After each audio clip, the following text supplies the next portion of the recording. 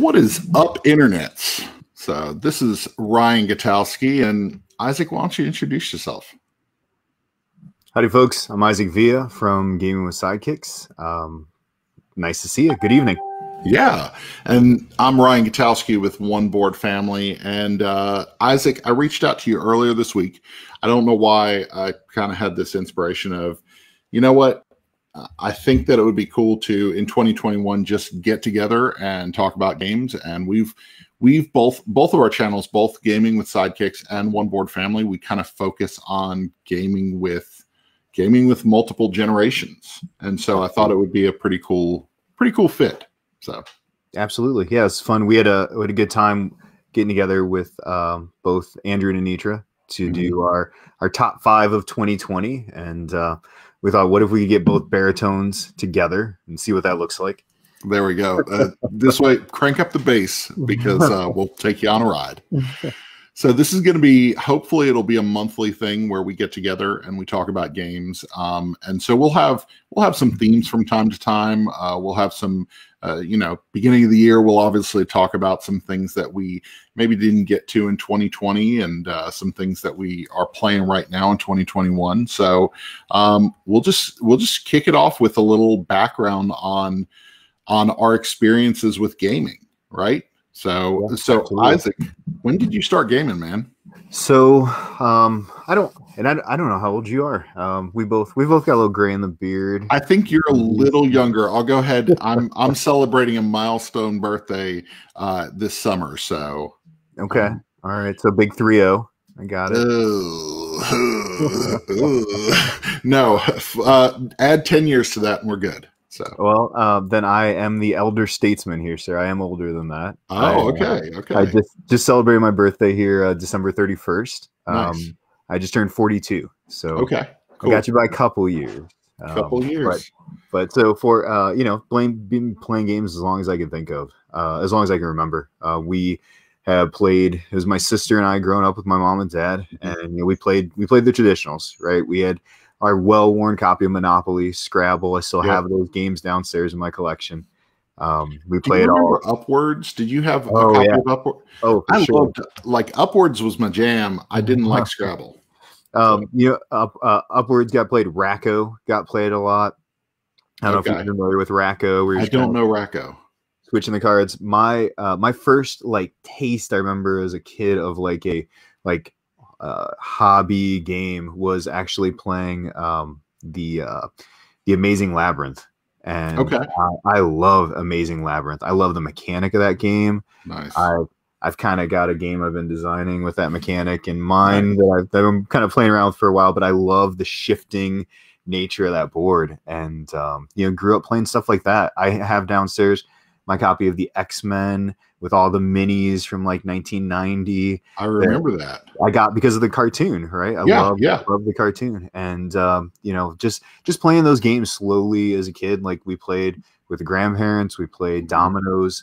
Uh, we play a lot of Mexican dominoes on my dad's yeah. side of the family. Like we, you know, we played a lot of that stuff, and just you know, it was good. It was good family time, right? Like absolutely. Yeah. Not everybody had a device in hand. It was just a good way to to spend some time together. Yeah. I, I remember one of my favorite memories about a game, a specific game was Kerplunk. So my dad, I don't know if he was on a business trip or he was out of town for some reason, but he had uh, when he came back into town, he brought a copy of Kerplunk home and completely surprised us. So we didn't play games uh, a ton, but it was like when we did, it was important. I remember my parents teaching me their copy of Stop Thief because they they bought Stop Thief I think in '79 at a Toys R Us, and I've still got I've got their copy. That's awesome, um, and it's still got the Toys R Us like bright orange sticker that's like twenty dollars, which is a ridiculous price to pay for a game at that time. uh, it was like, uh, what are you, multimillionaires? um, but yeah, they taught me that, and uh, played sequence with my grandmother a lot. Uh, she taught us sequence, and it's still a game. I think I still have her copy of sequence, and so um, yeah, I, I loved gaming as a kid. And it was uh, we would go to our friend's house. I think they had a copy of Fireball Island. They had a copy. Yeah. My brother had a copy of Splat, which was uh, you made Play-Doh, little Play-Doh uh, uh, roaches and stuff, and you would go around. I think it was a roll and move or spin and move, and you would go around with a boot and stomp on them. Uh, that's so, great. Yeah, yeah. So oh, that, gaming was big when I was a kid. That might be another fun one. We may have to do a little retro, like what's in your collection that's uh, that's old. Yeah, I'm sure you've yeah. got a few older games sitting around too that uh, invoke some interesting memories. Absolutely. We've got some people in the chat. Helena Capel. Hey, how's it going? Bob, loving on the Rack-O. So, uh, very cool. Um, so yeah. So as far as what what kind of games do you and your family play? I think that our kids. Uh, I think your oldest is around the same age as my oldest, and you may have a younger. Uh, so I've got twelve to seventeen. Yeah, and I got 17 and 14 at home. Okay. So we're kind of in that same age range. We don't have the right. little little ones anymore. Yeah. So what's what's gaming look like for you guys now? Mm, like what's what's what's hitting the table right now? Yeah, yeah. Uh, because here's here's the crazy part when they hit teenage, you know, teenage those teenage years, it's like all the all the love of gaming that they had when they were like eight, nine, ten years old, it's gone like i don't know what happened to it you know they'll only play specific things and it's right. like oh that lasts too long and my my son is still my number one uh you know i play a lot with my wife play a ton of games mm-hmm. with my mm-hmm. wife but my son is still my number one like playtest guy because my wife will take a little little little encouragement to play something new my son i'll put something new on the table and he's like all right let's go let's learn this thing nice. Drop awesome. the kingdom rush box right and i'm like you want to yeah. learn this he's like heck yeah i want to learn this so that's um, really good. That's awesome. My, my daughter, the theme is is big. Like it's got to be a game that looks interesting to her, and my wife to a point also. But like we, uh, I kind of threw a few games on the table, but um, this is getting a ton of play in our house. Jurassic Parts, because, so good. Because one, this game is pretty, mm-hmm. right? Like it's just the art's beautiful, the game's fun, it's simple, right? We can chat. You know, we set this up Sunday night. We asked my daughter, my wife, and I, you want to play a game? got this out 20 minutes we can just chat a little bit you know yeah. and, it's, and, it's, a lot of fun like that that's getting a lot of play in our house that's really cool. So jurassic parts we we saw it in its prototype phase. We played it with uh, chad. He came over for a game night. He lives about an hour and a half away and we were we were doing some work uh, with chad and he brought it over. And to see where that game came from with the prototype and then the finished version it's it's that game is fantastic. And I think what I love about Jurassic Parts is that every time I play it, I find another little thing that I'm like, oh man, I really enjoy this. You know, yeah, there's another little thing to like about it. Yeah, I love that one. So that one's been getting some play. Um, another one where, uh, and I've seen a lot of people talk about this, but I finally got it. it Christmas, I don't know if it's same for you, but like, um, you know, do you want some games? Like, uh, I get a lot of games. I have a lot of games. Yeah. But this is one I've, I've seen and I had to add to the collection because we'd never played it. Is Strike. Where's my copy um, of Strike? We bought it.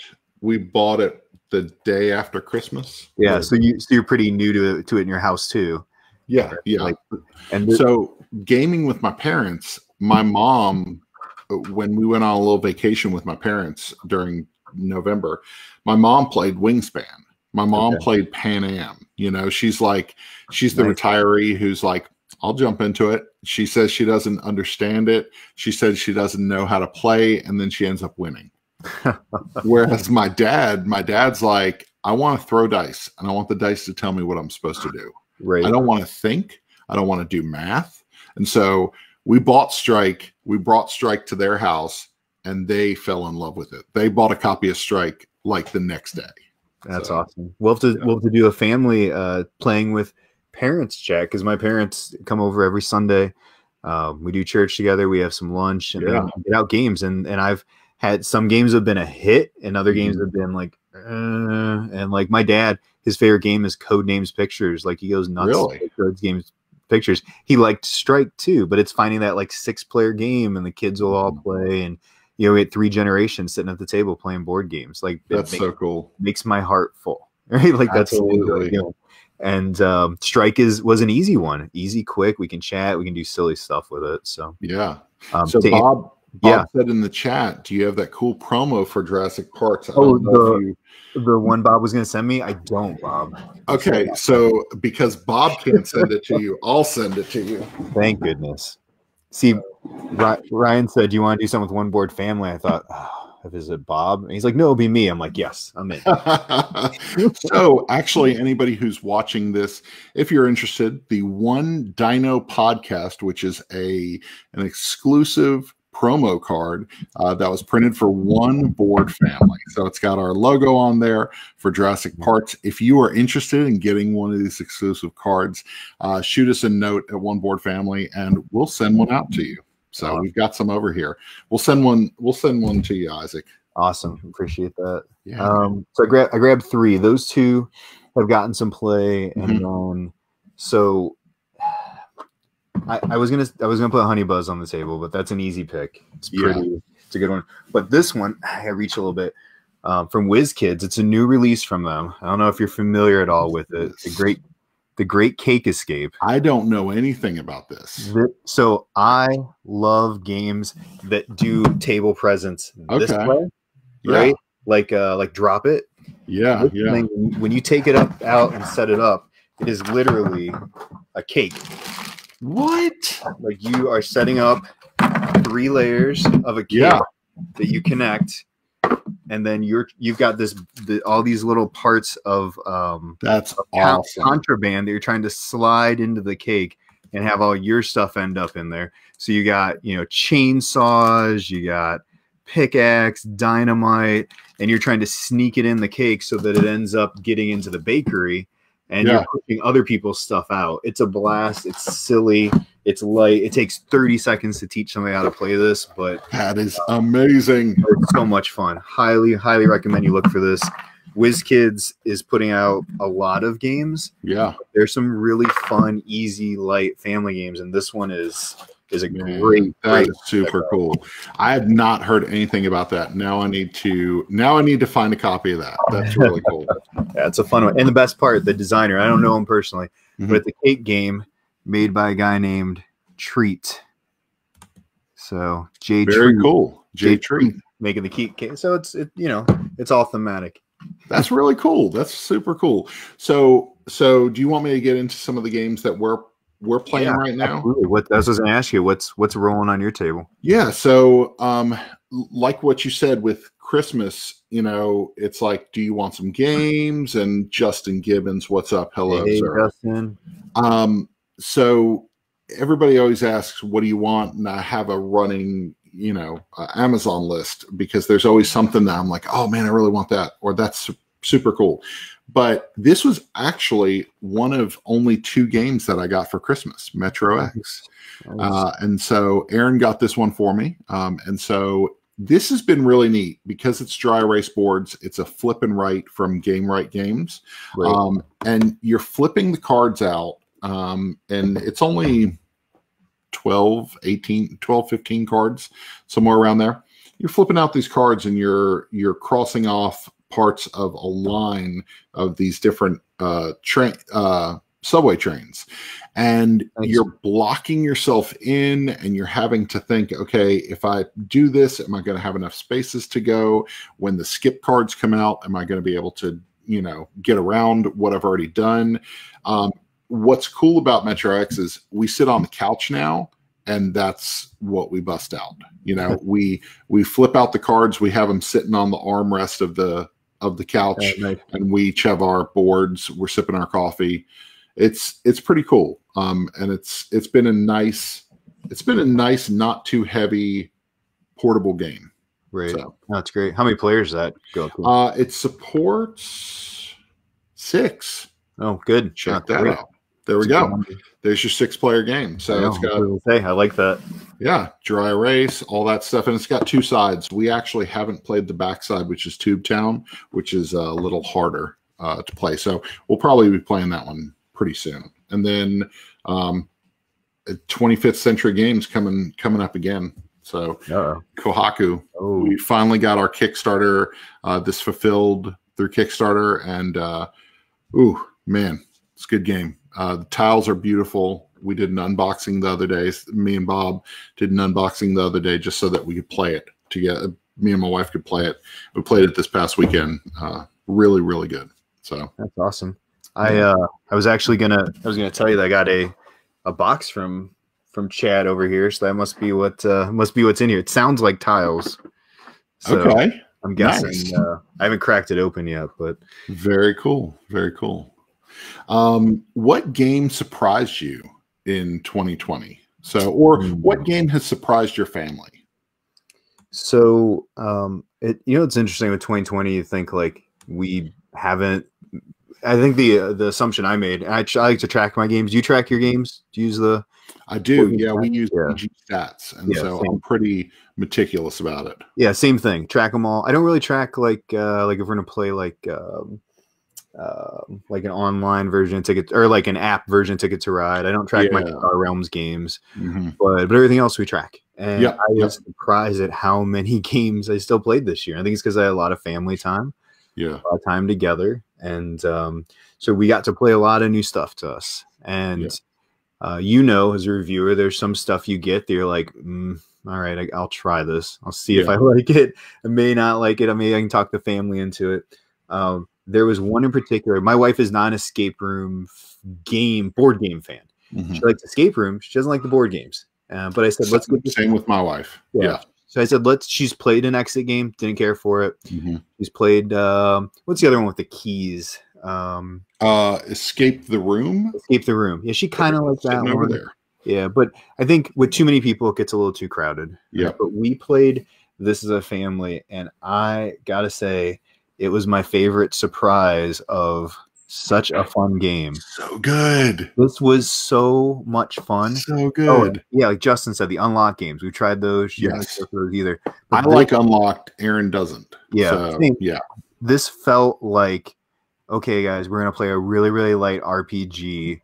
And everyone was into it that night. Everyone was having yeah. fun. Voices were being done. Like absolutely. It, it, and it felt like everyone had a role in this. Mm-hmm. it wasn't a co-op alpha like some escape rooms tend to be. Yeah, uh, yeah. I'm, I'm, telling if you if you want to give an escape room game a, a turn with family, because uh, this is uh, uh, Jay Cormier, right, and mm-hmm. uh, and uh, Sen-Foong Lim put mm-hmm. this together.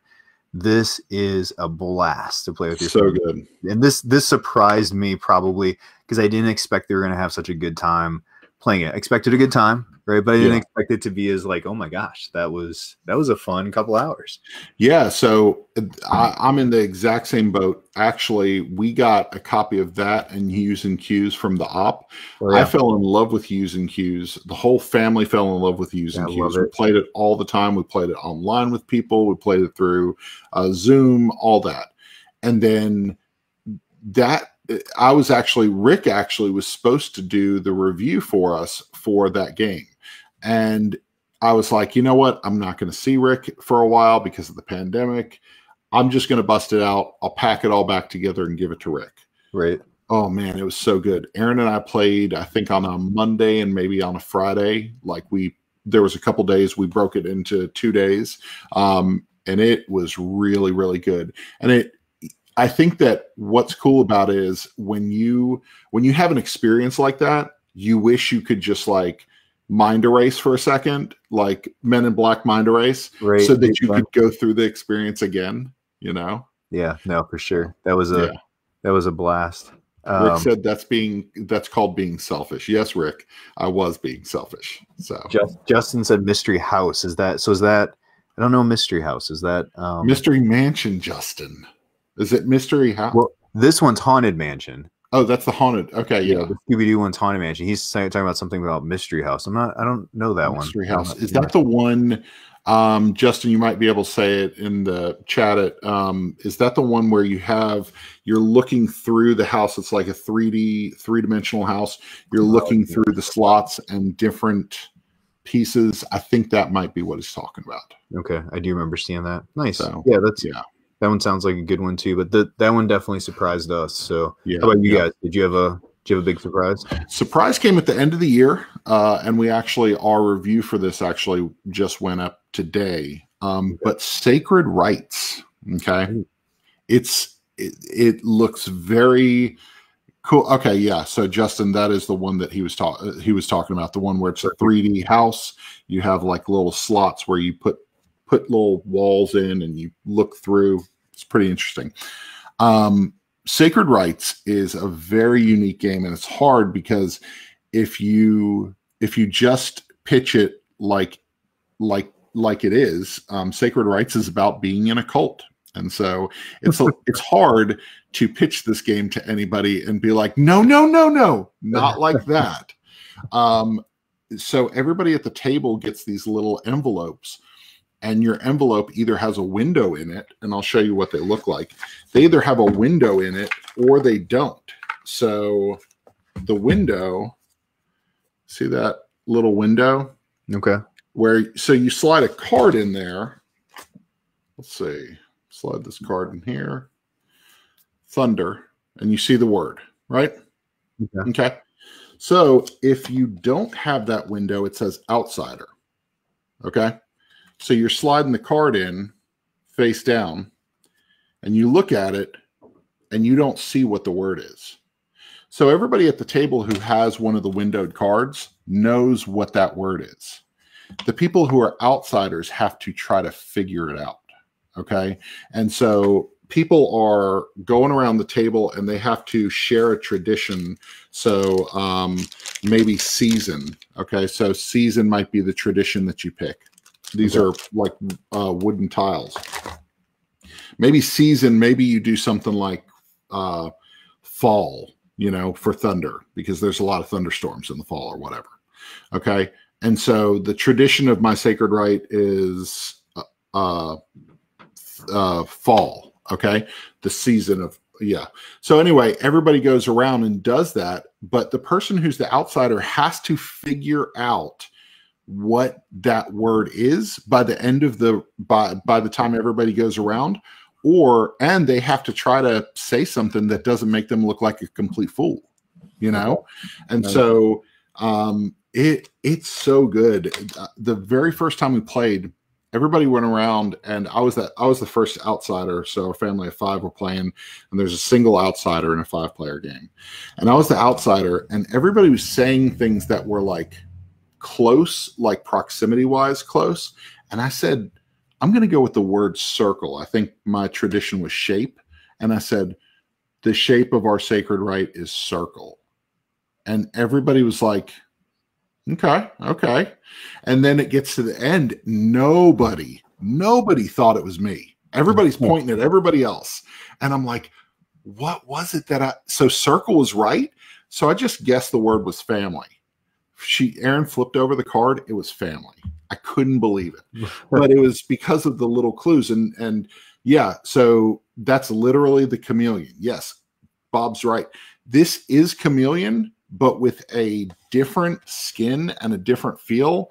And it is really, really fun. Like we busted up laughing um, because part of it, part of the game is that when somebody says the the uh, the drink of our sacred rite is chocolate milk. Everybody else at the table has to, in unison, say, ah, chocolate milk. And so you, the stupidest things come out of your mouth as you're around right. the table. Just the silly and, fun. Yeah, it's just, and the components are great. They're wooden and they're they're fun. They feel good. Um, this surprised us. We played this many times during Christmas because every time we got it to the table, we were laughing you know? That's so, awesome. Yeah. Uh, so Justin asked, is the Scooby Doo gamer playable? It is not. It is not. It's a one and done. Yeah. It is two. It's technically uh, like a chapter one, chapter two. Uh, each chapter takes. Uh, it took us like a little over an hour, I think. So there's a break where you can say, okay, you can play half of this, you can pack it away and get it back out if you want later. But yeah, it's a one and done. Now that being said, it's a one and done for your family, and then you yeah. can repack it up and give it to somebody else. It's not an exit, tear it apart, one and done. Mm-hmm. Um, I actually need to put mine back together so I could loan it to some of our friends that want to try it. Yeah, I, I packed it back together and sent it, uh, gave it to Rick.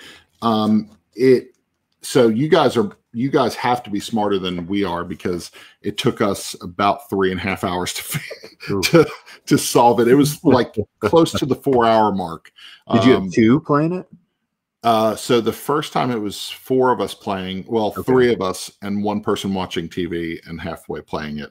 And then the second, the second half of it was just two of us, just yeah, Aaron and I. We so. played four on both ends. It may have helped a little. It probably did. Yeah. TV was off, so yeah, yeah. Ten families, so. two bucks a piece. Yeah, Bob knows what's up. Yeah, there we go. Yeah, it, it's a it's a great game though. So, um, what's a game? So, what's a game that you didn't get in 2020 that you're still like you could still see yourself saying, you know what, I'm going to find that game. I think I have one. Um, did you see Justin's comment on his his game that he uh, was his big surprise there? No, what was yours? Scroll, scroll down a little bit there. Okay, Marvel United. Nice. Have you played Marvel United? I have not. Have you? Um, no, I did back it. Um, okay. It, it's actually my my first and only um, CMON. That's what they want to be called now, right? Uh, my first and only backing from them, and yeah. um, I I'm a, I'm a Marvel geek, uh, yeah, specifically yeah. Venom stuff. Yeah, uh, like I'm looking at my wall over here; it's just covered in Venom posters and memorabilia awesome. stuff. And they once they had the Venom chibi figure, it's like, oh man. Um, so I didn't pay extra to get it early mm-hmm. but I still ended up getting it early. So, okay. but it's sitting on my shelf. I'd like to play it. I just haven't gotten around to it. Yeah, it's co-op game and it's superheroes, which is yeah two things my wife is not a fan of. Uh, okay. So it'll be a son and I game at some point. But yeah, I look forward to trying it out for sure. Yeah, that's really cool. I didn't. Uh, so I think I'm in that boat of I want to try it. I don't know if I need to own it because right. the Marvel games, even though my son is a big Marvel fanatic, um, I I'm Marvel's fine. Like I'm excited about the unmatched Marvel sets that are coming out. Um, right. I'm pretty pumped about those just because we're huge fans of Unmatched. Um, so I don't know. It, it's it's one that I could see trying, but I don't know that I would own it. It's so, fair. Yeah. Um, as far as a game that I would still like to acquire, mm-hmm. uh, didn't get in on the Kickstarter. Seen everybody talking about it. JT is one of our guys in our group. Uh, this was his favorite game of uh, of 2020, and that was uh, Dwellings of Eldervale. Yeah, and, yeah. Uh, I'd love to try it. I'm sure I'm going to love to own it. Uh, my understanding is they're going back to Kickstarter with a big box and expansion sometime this year, so I can wait till then and, and grab it then. But I've heard nothing but amazing stuff yeah. about that game. I forgot that I can show uh, people's uh, people's comments on here. So Rick, you're I agree with shout out for being shut yeah, your ridiculous mouth. So thank you, thank you. So um, yeah, uh, Dwellings of. I played that as a prototype in uh, at Southern Fried Gaming Expo, and okay. it was it was really good. Um, I don't know if it's a game that I would play often enough, but I would definitely like if somebody was like, "Hey, we're playing this," I would jump in. Um, most definitely, it's it's really good. Um, the one that I missed was bees. I actually, uh, this is the one from Next Move Games. Yep. Um, really cool bee figures with little dial things on them. I'm really interested because it looks kind of puzzly, um, but it it's also you know the components are fantastic. I really want to try that. You know, it's it. I think the bee, the honeybee thing, it just there's something that draws me to it. Um, yeah, I definitely like Honey want. Buzz. Honey Buzz, that was fantastic. Played it at Tantrum Con. The I, uh, I played it at the uh, best con of 2020, um, the best and only con of 2020, Tantrum Con. Fair. So, Fair. yeah, um, but yeah, I played it Tantrum Con, and it was so good. And I was like, oh man, I missed out on this one. So, yeah, it's a lot of good choices. That's the tough part, right? Yeah. Uh, Rick with the puns. Are you buzzing with excitement? Shut up. Jeez. He told me he was going to jump into the comments and and pick on me. So he said that doing this doing this uh, video chat with you is basically cheating on him. So yeah. I told the other three guys that I was going to be coming. I haven't seen any of them comment. So you know, it it appears it's okay. It appears our our game of sidekicks group has more of an open relationship. So it's only Rick. Bob's fine with it. So, um, yeah, Bob's here. He's cheering us along. Yeah, yeah. So Justin said he just added Honey Buzz to his Atlantis Rising uh, expansion plus yeah pledge. That's really good. Yep. So. No, oh, there's Stuart. Cool. There's one. There's one of my there's four. Stuart. There we yep. go. There we go. Boom. So, yeah, Fair you're enough. missing out yeah. on all of it. So, so Isaac, that was pretty much the show this time. This time yeah. around. So this is uh this is the first, first show. we don't really have a name for it. The game chat. I don't know. Yeah, it's okay. something. If you have a better name, you know, shoot us and shoot us an idea. Uh, anyway, so yeah, thanks so much for joining us. This was yeah, a lot of fun, fun to do. And uh, if you like any of the games that you heard about, you can find coverage of those games at Gaming with Sidekicks and at One Board Family. We talk about all this junk all the time. It's so good. So absolutely. We're uh, so what's your what's your best uh, social media spot? Like where do you where do you like to put? Because we have lots of places we put social media. Yeah, right. Yeah. Like where where do you like to put content the most? Like do you have a favorite like favorite spot that you like to put stuff out on? Yeah, so I would I would probably say Facebook because I feel even though it's hit or miss, you know, you'll pay you'll post something to Facebook and it'll get like three likes and nobody comments, and I'm like, oh, that was a bummer. And then you post something else that's like 40 likes and 10 people are talking about it, and somebody right. shared it, and I'm like, I didn't even like what I posted, you know. Um, I would say I would say Facebook, even though it's hit or miss. Um, and we're getting better about YouTube. We we neglected YouTube for long enough, and now we are making content at least weekly for YouTube. So it's a good way to do it. Yeah, we enjoy Facebook interaction.